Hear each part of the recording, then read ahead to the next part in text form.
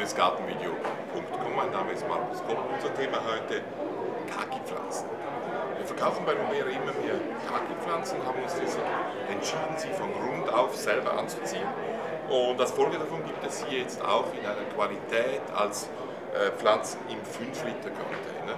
Und so sehen die Pflanzen aus, weil Sie möchten ja wissen, wie groß die werden. Die werden ca. 70 bis 80 cm hoch und so werden sie nachher auch verkauft. Denken Sie dann im Herbst, Winter natürlich ohne Laub, selbstverständlich, das Laub verlieren Sie. Äh, der Vorteil der kleinen Pflanze besteht darin, dass sie weniger, viel weniger Pflanzschock hat, wenn sie umgepflanzt wird, als eine große zweijährige, dreijährige Pflanze im 10 Liter Topf. Äh, und dass sie dann eigentlich viel schneller vorwärts wächst. Sie können damit rechnen, dass diese Pflanze teilweise schon im zweiten, sicher im dritten Jahr bei Ihnen Früchte tragen wird, blühen wird, Früchte tragen wird.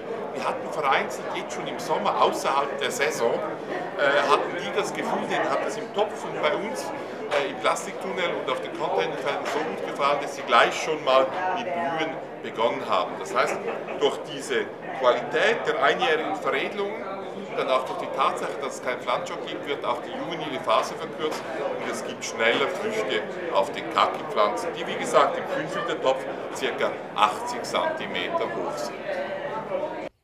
Hm, wie geht's weiter? Aber ich kann Ihnen helfen. Hier geht's zu Luberacom, dem Shop mit über 5000 Pflanzen und über 5000 Gartenprodukten. Hier, hier können Sie den YouTube-Channel abonnieren. So geht's weiter. Pflücken Sie jetzt Ihre Blumen.